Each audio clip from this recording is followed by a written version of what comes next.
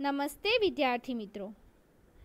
तो हमने part one में पाठ एक यातायात चित्र पाठ के चित्र की चर्चा की, उसका वर्णन किया। आज हम पार्ट टू में उस चित्र के आधार पर दिए गए अभ्यास स्वाध्याय के प्रश्नों की चर्चा करेंगे। तो आज अभ्यास में पहला प्रश्न है, चित्र देखकर फूलों के नाम की सूची बनाइए। तो जो हमने पार्ट एक में बना दी थी। जैसे हमारे इस चित्र में चंपा, गुड़हल, सूर्यमुखी, गेंदा, बेला, फिर गुलाब, फिर बारहमासी तो ये सब फूल दिखाई देते हैं। चित्र में नहीं है ऐसे फूलों की सूची बनाइए।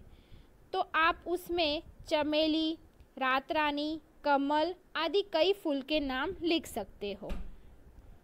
फिर तीसरा प्रश्न चित्र देखकर यातायात के साधनों की सूची बनाइए। तो ये तो आप सब बहुत अच्छी तरह बना सकते हो, क्योंकि आपके साम पे सामने सड़क पर चलने वाले, हवा में उड़ने वाले और पानी पर तैरने वाले साधन दिखाई देते हैं और उसकी चर्चा हमने वीडियो में की है। उन यातायात के साधनों के नाम बताइए जो चित्र में नहीं है। तो आप ट्रक लिख सकते हो, फिर आप साइकिल लिख सकते हो, फिर आप तांगा, बैलगाड़ी, ऊँटगाड़ी, रॉकेट, कुछ भी लिख सकते हो, जो इस चित्र में नहीं हो।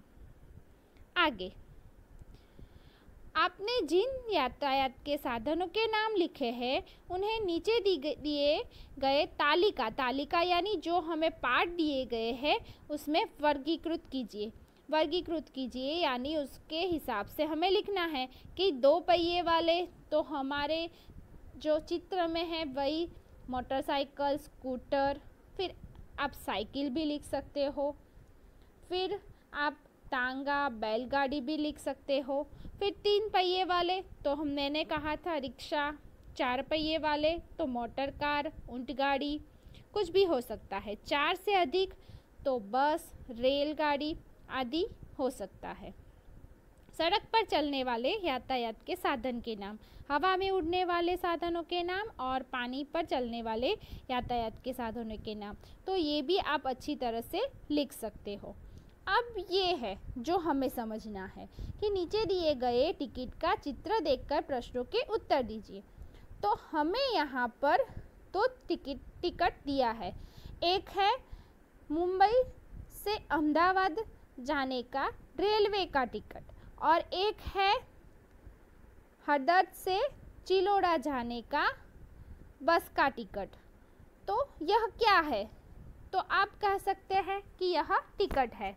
बस का टिकट कहाँ से कहाँ तक का है? तो मैंने कहा ना कि बस का टिकट हडद से चिलोड़ा तक का है।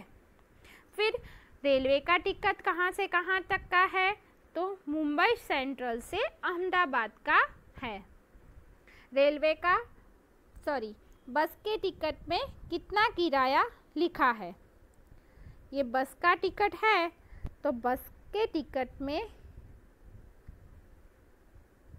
हमें इक्यानवे रुपये लिखा है।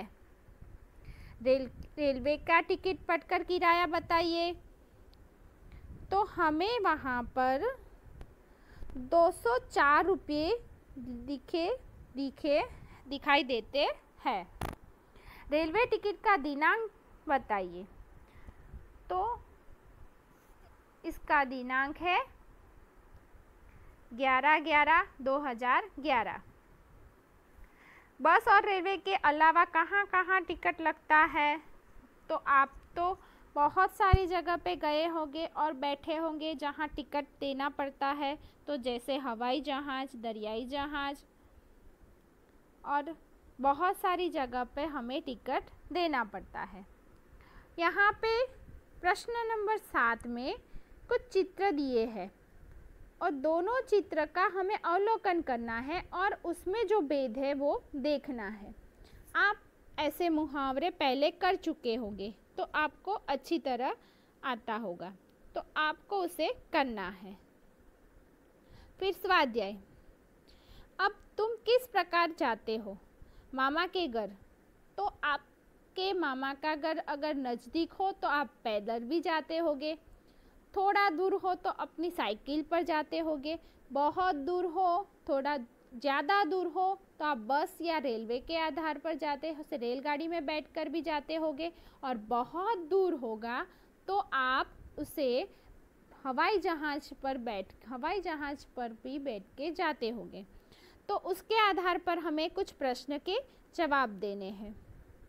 फिर यहाँ पर आपने जिस पर सवारी की है, उस पर आपको टिक करना है।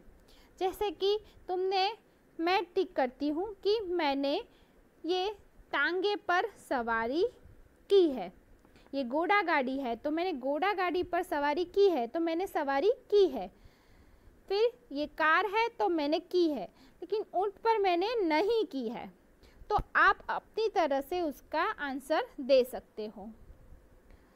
पढ़िए, समझिए और राइट की निशानी कीजिए। तो किस पे टिकट लगता है? किसमें पैसे लगते हैं? और कौन से साधन पे हम मुक्त जा सकते हैं? तो अगर हम घोड़ा गाड़ी में बैठेंगे तो हमें पैसा लगेगा, टिकट लगेगा नहीं।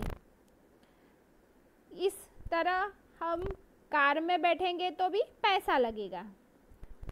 ऊँट पर भी पैसा भी लगता है और मुफ़्त में भी जा सकते हैं। यहाँ पर भी अपने अगर अपनी बैलगाड़ी हो तो मुफ़्त में जाते हैं। या फिर अगर दूसरे की है तो पैसा भी देना पड़ता है और रेलगाड़ी में टिकट लगता है। तो इस प्रकार आप आंसर दे सकते हो। यहाँ पर कुछ फूल दिखे, दिए हैं। उसके नाम जैसे ये कमल है। ये ये कमल है। ये मोगरा है। फिर ये गुड़हल है और ये गुलाब है। ये मोगरे का फूल हमारे बुक में नहीं है। अब प्रश्न नंबर पाँच, निम्नलिखित चित्रों के आधार पर कहानी लिखिए।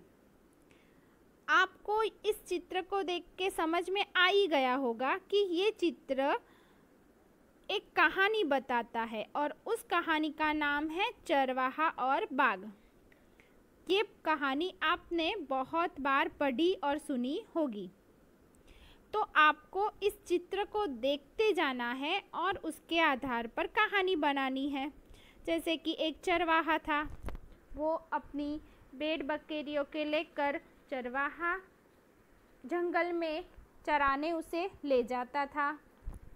फिर एक बार उसे मज़ाक सूझी और उसने क्या किया? ज़ोर ज़ोर से वह चिल्लाने लगा। कि बाघ आया बाघ आया चरवाहे की आवाज़ सुनकर गाँव लोग, गाँव के लोग वहाँ पे दौड़ कर आ गए।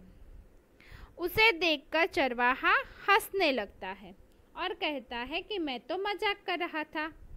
लोग चरवाहे की बात सुनकर उसको पूछते हुए वापस चले जाते हैं। एक बार सच में चरवाहे की भेड़ बकरियों को खाने के लिए बाघ आ जाता है। अब चरवाहा ज़ोर ज़ोर से चिल्लाता है। बाघ आया बाघ आया, लेकिन उसकी आवाज़ सुनकर कोई गाँव के कोई लोग भी यहाँ पर आते नहीं हैं। बाघ क्या करता है? उसकी सारी भेड़ बकरियों को खा जाता है। चरवाहा अपना जान, अपनी जान बचाने के लिए पेड़ पर चढ़ जाता है। और इस प्रकार हमें ये सीख मिलती है इस कहानी से कि हमें अपनी बुरी आदत को दूर करना चाहिए। हमें इस इस प्रकार झूठ नहीं बोलना चाहिए।